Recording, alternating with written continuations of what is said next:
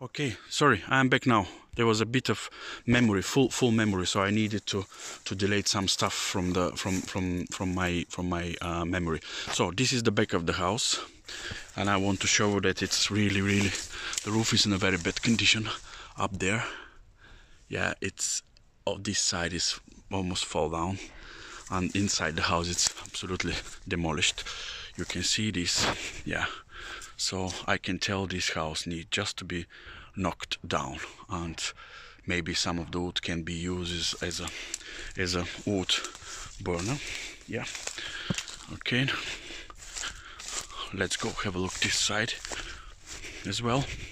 So you can see some part of the you know the stuff the stones move a bit. You can see how the stones move. Yeah. And it's really really go down is a part fall apart. You can see here much more easy and clear now. Yeah. Okay all these stones move. They should they should be they should be in. Now they are moved. Okay. So this is all the foundations of the house.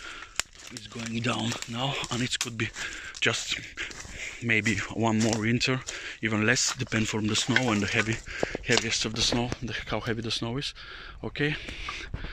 This is a type of a of a hole here.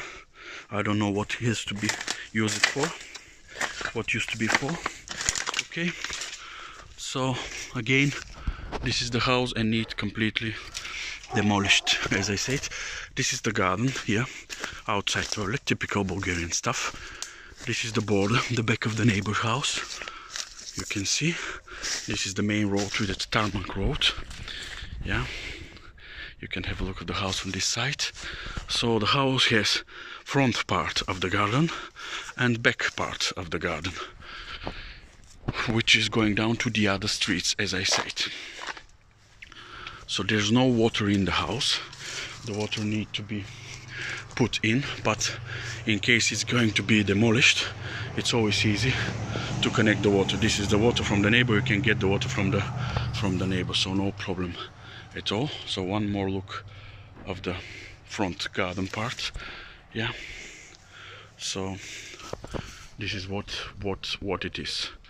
Yeah good size of a plot nearly 2000 square meters and this gives you options to build a house on the same footprint of this one or move it further down and make another house a bit far away from the from the from the from from from the road.